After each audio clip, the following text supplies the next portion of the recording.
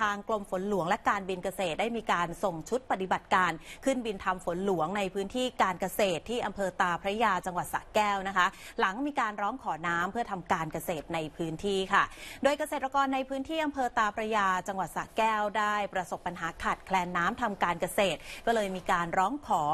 ฝนหลวงนะคะ เพื่อทำการเกษตรผ่านในอำเภอตาพระยา แล้วก็ขึ้นบินทำฝนเทียมในพื้นที่เมื่อวันที่ 11ถึง13 สิงหาคมที่ผ่านมา พบว่าฝนที่ตกลงมาเนี่ยสามารถทำให้ดินเหมาะกับการเพาะปลูกมีความชุ่มชื้นมากยิ่งขึ้น แล้วก็มีการทำฝนหลวงในครั้งนี้ทำให้ฝนตกถึงร้อยละ70 ของพื้นที่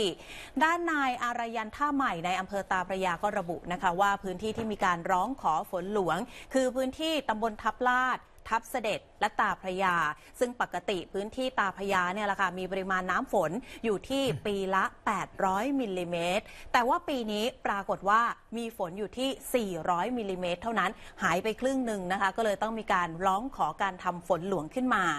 ทางด้านของนายสุรศรีกิติมนทน อธิบดีกรมฝนหลวงและการบินเกษตรก็ระบุนะคะ ว่าในช่วงวันหยุดที่ผ่านมา หน่วยปฏิบัติการฝนหลวงที่จังหวัดเชียงใหม่ พิษณุโลก อุบลราชธานี นครราชสีมา สุรินทร์ลบบุรี และกาญจนบุรี ได้ปฏิบัติการขึ้นบิน เพื่อช่วยเหลือการเกษตรตามที่มีการร้องขอ แล้วก็จะเร่งปฏิบัติการฝนหลวงต่อไปด้วยค่ะ